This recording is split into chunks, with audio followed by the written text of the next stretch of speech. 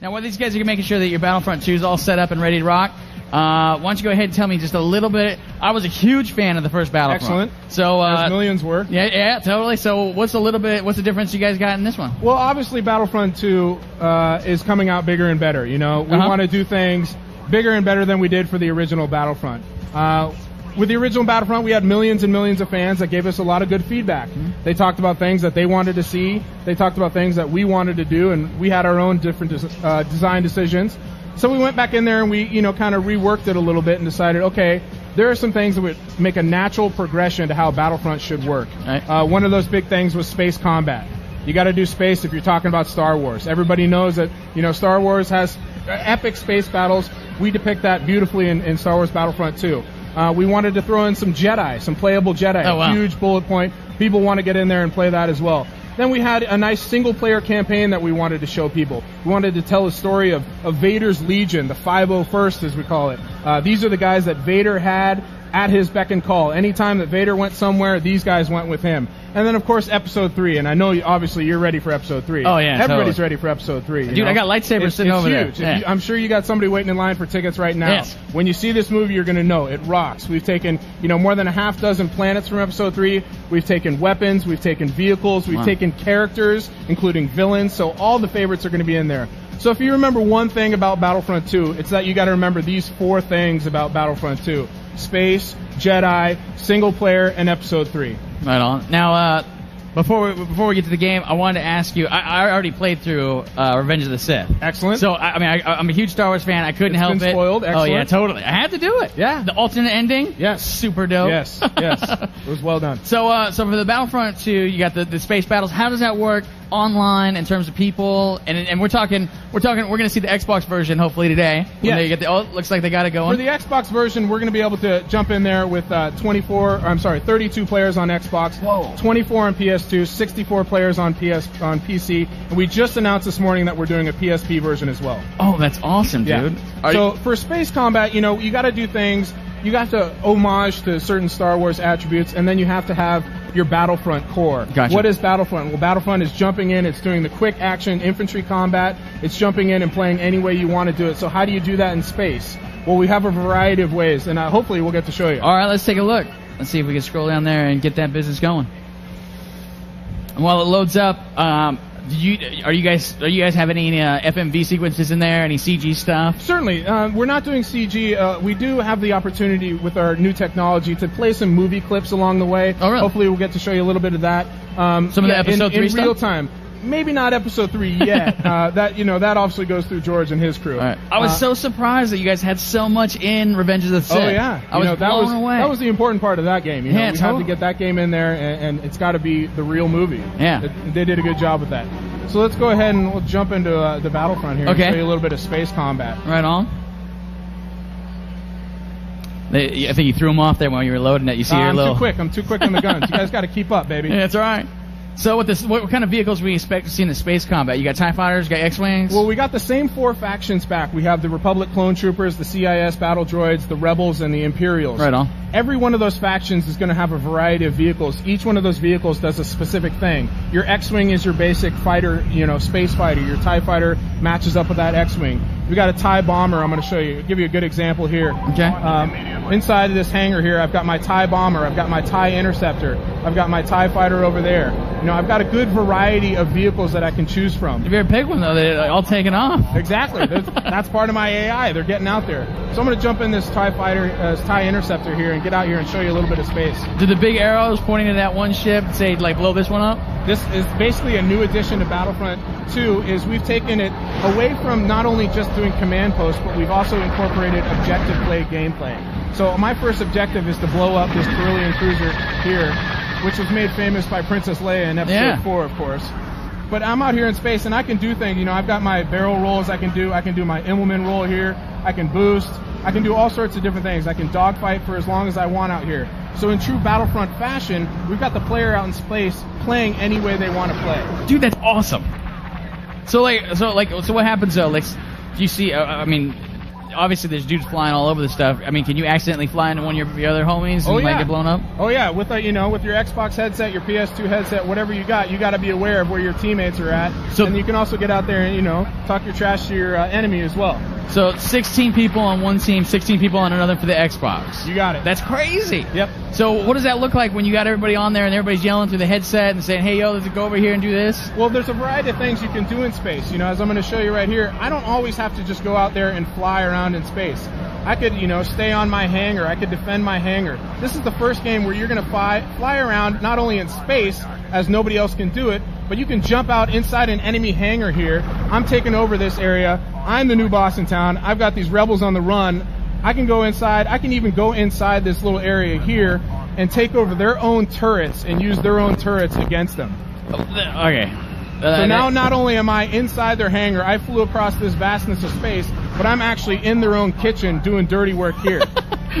that is awesome. That you guys look like you pulled out all the stops then. Absolutely. There's no, no holds barred in Battlefront 2. Now I don't know if it's possible. You'd be able to show me what happens when you're trying to run with a Jedi. In this? Absolutely. Right Let's on. go ahead and jump out of space and I'll take you to something cool. Okay. So while that's happening, um, what, when can we expect this? I saw the fall 2005 right there. Fall 2005, we're coming out on the PS2, the Xbox, and the PSP. right on, man. And as well as PC, of course. What, can you give me any insight into the PSP thing at all? Like how Well, many the people? PSP is a unique experience. I mean, obviously, people want to have that quick action. They get into the game right away. It's a handheld. Uh, we will be Wi-Fi compatible. We'll be able to play with other players. You know, sitting around your dinner table, sitting in your library. Do your schoolwork, though, kids. You know, That's aw- doing that kind of thing. That's awesome. Let's so let's a, go ahead and uh, see if we can jump into a little bit All right. of. Uh, And I I don't think you have to worry there. I think Cool. that yeah, you can see the, the those bottom monitors are just uh, Yep. showing that color, so you can see the top ones are all good. Uh, so infantry controller. So you're gonna show us the infantry action when you run Absolutely. on foot. One of the great things about Star Wars is you're never out of material. There's always another battle that you can portray. One of the most famous battles, of course, is aboard Princess's Le- Princess Leia's Tantive 4 immediately at the beginning of Episode 4. So as you can see here, we've spliced in some movie footage. Right on. And this is the first time that anybody's really done a LucasArts game with the Tantive 4 depicted like this.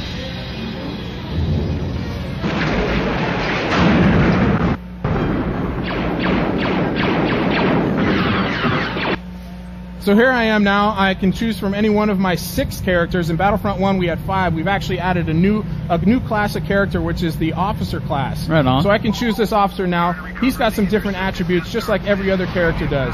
And I'm aboard the Tantive 4. So one of the things we added, of course, is is single player objectives. Things like you know blowing up a certain objective, taking an escort from a certain place. But we've also kept our core roots of Battlefront action, which is fast-paced infantry, close quarters, get in there, you know, take over a CP or two, blow some guys up, die a couple times, who cares, get right back in. Right. Now, when you when do we get to see Vader come We're gonna get there in un momentito. I come, I'm a little impatient when it comes That's to my, okay. my Darth Vader. It's, So- it's one of those things, you know, this is kind of why we put the player at the forefront of the single player experience.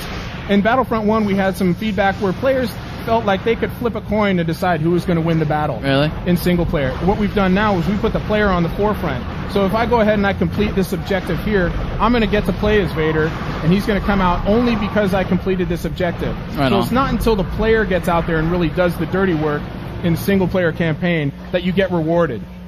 do you So guys here we go. Oh, right on. I don't think there's very many scenes in very many movies that is better I than mean, that. Come on, what's better than that right there, huh? Yeah. So Vader So- comes in here, and the way we've done single player Jedi and the whole hero experience is basically based around a reward system. You know, people are going to ask us, how do you how do you play as a Jedi? How are you going to get to you know balance that type of thing? Well, we've gone ahead and added at the bottom of the screen there, you can see a lightsaber depicted. That's basically my hero, my Darth Vader's life bar, if you will. The more positive things I do on the battlefield, the longer I can use him I gotcha. the more negative things I do, if I were just to cower in a corner, which Darth Vader would never do, Right. then the shorter that life bar is going to get. So I got to complete objectives. I got to kill the bad guys. I got to do things that help my team throughout the single player experience, complete objectives, and progress on. And as you can see, Darth Vader is Darth Vader. He's this menacing guy. He's you just stomping He- through there. He's got force choke, as you saw right there. He Yeah. can he can swing his lightsaber and knock people out. He can take over command posts. He can drive vehicles. He can complete objectives. He can Jedi sprint, Jedi jump, Wow. all sorts of attributes.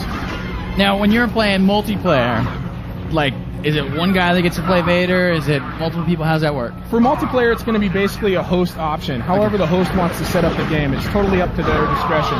If they want to set it up where the guy who they think is doing the weakest, who's doing the worst, who's got no kills, when that hero becomes available, they'll give that hero to him. I gotcha. And it's all set up before the game. Maybe it's set up by the guy who gets the most kills. I gotcha.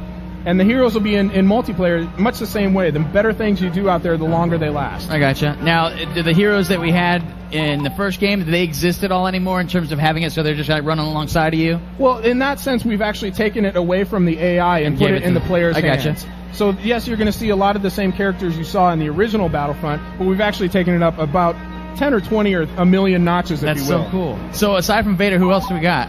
Uh, I'm not allowed to really dis- wow. disclose uh, disclose all of those guys, but I will show you one other guy. Okay. Uh, hopefully, we can get in there and show you some Episode Three content. Right on. The ones that we're showing you today are Vader and Obi Wan Kenobi. Oh, cool. Right on. Thank you so much. Now, Of while course. this is while this is loading up, uh, and you're going to show us the episode three. Is it we're going to see episode three right now? Or are you going to go Not to- the movie, but of course the content of Episode Three. Right, right, right. Yeah, one of the great things about you know Star Wars and, and the movie coming out is that we have so many things we can draw from uh, from this movie. There are so many great battles in it. Uh, obviously, one of the great things we've taken is these clone skins here. Right. We've updated the clone troopers so that they're depicted directly from the movie. All of their face, all of their gear. Uh, you'll see a ton of their weapons in there as well. Here's the commando class that you see.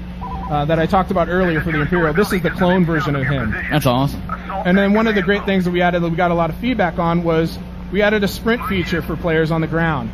And it also works in vehicles. Players can sprint from side, you know, around the area. They can even do an, uh, a funny little rolls, you know, jumping and, and, and ducking and dodging. This guy's got his great big chain gun going on. So I'm going to go up here and I'm going to try and complete my first objective, which is to give my troopers a little bit of uh, area, a little breathing room by taking over this command post. Uh-oh. Battle droid. The ever menacing battle droid. He's no match for me. Now you're just waiting to take it over. Right, I can call over my buddies if I wanted to. I could use my squad commands to call them over. As I take this over, it's going to unlock an episode 3 vehicle for us. Right on. So different areas that you progress through the battlefield will unlock different things. Maybe one, you know, it'll unlock a hero. Right here we've got ourselves the ATRT. Oh wow. He's got his little boost. He's much more of an anti-infantry type of guy. I remember cutting a few of those up in Revenge of the Sith. Absolutely. So let's see if we can jump out of here and uh, progress down the highway and try and take over this uh, last CP to get ourselves a look at Obi-Wan.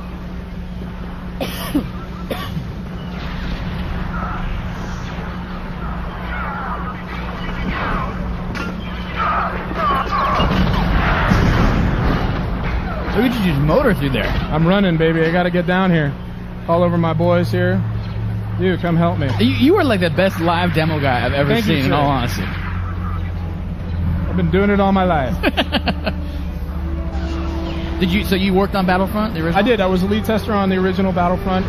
Coming back for a, a second tour here. Right on. So you can see I called over my squad command, uh, my guy over here. I've taken over this command post. This gives me an opportunity to quickly jump in and play as Obi-Wan Kenobi. Oh wow. So as you'll see, Obi-Wan's a much different Jedi than your Darth Vader. He's got this sprint. He can do all sorts of, you know, he's got an aerial move. He moves a lot faster. He moves like you would want Obi-Wan to move. Right. He's got different animations, different context.